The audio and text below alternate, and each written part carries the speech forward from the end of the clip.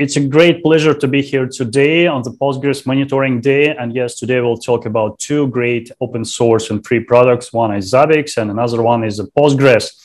And um, I maybe, for those who are not familiar with the Zabbix, will just give you a very, very quick overview of Zabbix. So, what is Zabbix? Uh, Zabbix is a universal open source, free and open source enterprise level monitoring solution. So, it's basically uh, the system which is able to monitor your IT infrastructure and it is free and it's open source. And actually, I see there are lots of uh, similarities between a Zabbix and a Postgres. We, we both are free and open source products.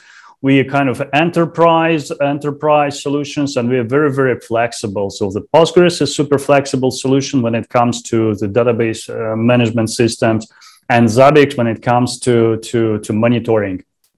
And actually, uh, Zabbix uh, as a product is uh, able to monitor the whole stack of your IT infrastructure. For those who are not familiar with Zabbix, maybe if you came from the Postgres or, or, or database world, I will just give you just a, just a very, very uh, short overview. So Zabbix is able to, to monitor actually uh, everything starting from the hardware, your servers, your network devices, maybe some IoT devices, up to more high level things like uh, different services and different applications including maybe the database system so uh, this database system like uh, microsoft sql or or or uh, or MySQL or Oracle and the Postgres, of course, it's all can be monitored by Zabbix. And actually, today there will be a great talk about about it, and we, we will we will talk about it in, in more detail. So uh, just uh, follow the Alexandra's talk today.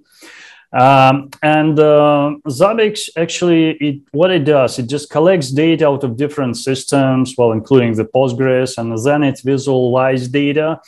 Uh, it will give you just a different graphs, uh, so you can see actually some performance, maybe some availability metrics of your of your applications.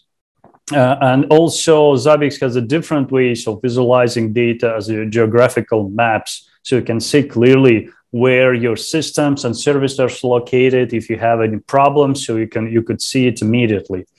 And of course, um, the, any uh, well, the kind of the essence of the monitoring tools is is ability to uh, to detect problems. Yeah, detect problems as soon as soon as possible. And Zabbix is able not only to detect problems in real time, but also is capable to do anomaly detection and trend prediction. It really helps to basically to detect problems even before they happen. Yeah.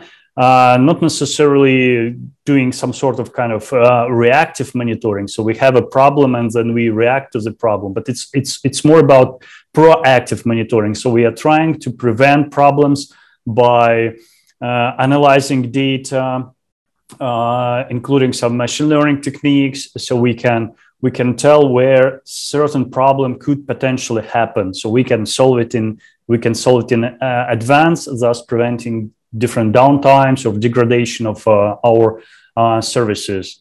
And of course, alerting and uh, problem remediation. So problem happened, for example, Zabbix detected the service is down or is about to be down, and Zabbix will basically start to uh, alert you. It will it may uh, give you a message in Microsoft Teams. Maybe after some time, it would it will just escalate this problem to a higher level. Maybe it will try to restart your server automatically, or it will open a ticket somewhere, and this problem will be will be uh, escalated until it's uh, it is it is uh, fully resolved. So this is just a very very quick and I would say a little bit of naive explanation of Zabbix capabilities being a kind of enterprise monitoring tool, it's much, much more complex and much, much more flexible. But I don't really want to uh, spend your time uh, on on Zabbix um, on Zabbix uh, details right now.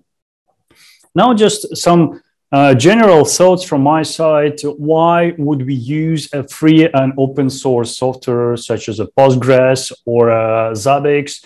Well, obviously it's free. Yeah, free also it's open source give us a tons of freedom actually the freedom to study how software works freedom to understand all the internals, freedom to analyze the source code, and it's also very, very important. And and and, and obviously, free systems are free, yeah, free as a beer, yeah. So basically, we don't we don't need to pay anything in order to start using uh, Postgres or or Zabbix, and and being a f- open source systems, it's it's it's it's it's really give us. Um, interesting things like uh, absolutely outstanding level of uh, flexibility. So we may adapt our systems like a Zabbix, if you're talking about monitoring or a Postgres, if you're talking about the, uh, database management uh, system to, to very different uh, use cases. And for example, if you look at the Postgres, uh, it's traditionally was a kind of a relational, relational database engine, but nowadays uh, thanks to support, for example, of JSONB. Uh, it uh, it's also is capable to to store uh, non-structured data. Yeah, and it's it's it's really a very very powerful combination. And actually, I see so many similarities between how Zabbix is being developed and how Postgres is being developed. So we all pay very significant attention to the quality to the quality of uh, the, the product to, to the features and we, we, we, we both try to think uh, think long term. But going back to, to free and open source of course there is no vendor lock-in.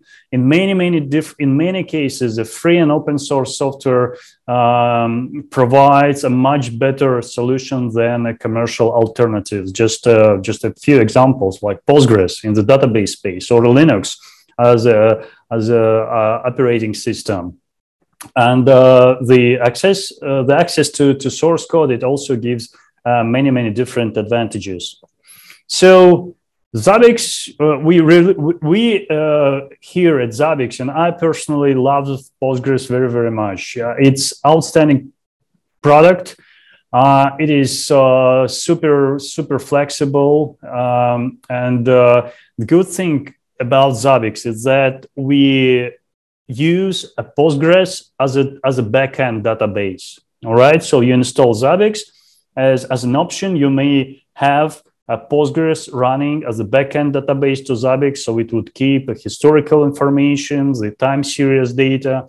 It would keep configuration data on all everything in a Postgres in a Postgres uh, database. So this is this is also one of the advantages of um, of uh, this kind of, kind of collaboration between a Zabbix and uh, Postgres. And I would like to also tell a few few words about the Postgres Pro company. This company, which act- actually actively participate in the development of the Postgres uh, product. And if I'm not mistaken, I think the features like um, HStore, yeah, or uh, the JSONB and some other features were uh, developed by Postgres Pro engineers. So I I really I really enjoy uh, working with the Postgres Pro engineers, and we we really do it.